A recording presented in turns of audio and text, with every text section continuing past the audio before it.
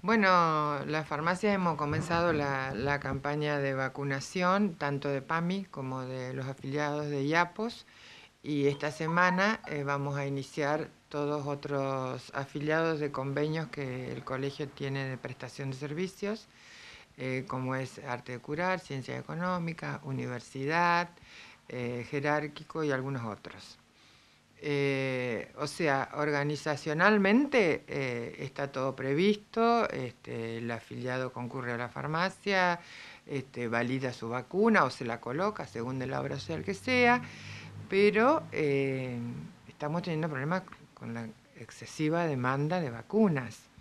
Eh, en el tema de, de IAPO, hasta ahora vamos validando y vamos dando turnos para aplicación este, para la semana que viene. Estamos, ahí estamos bien. Eh, hasta esta instancia estamos bien, pero tenemos faltantes de vacunas para los afiliados de PAMI. La semana pasada eh, se terminaron las, dosis.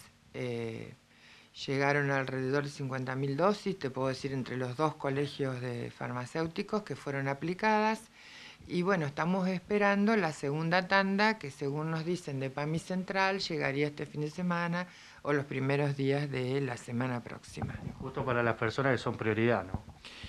Bueno, eso es lo que nosotros estamos, evaluamos, digamos, de tratar de optimizar el recurso de la vacuna eh, para las personas que realmente lo necesitan, sí. En, en PAMI, digamos, mayores de 65 y pacientes con algunas patologías que necesitan vacunarse al tener la, inmuno, la inmunidad suprimida, ¿no es cierto? Y lo mismo en IAPOS.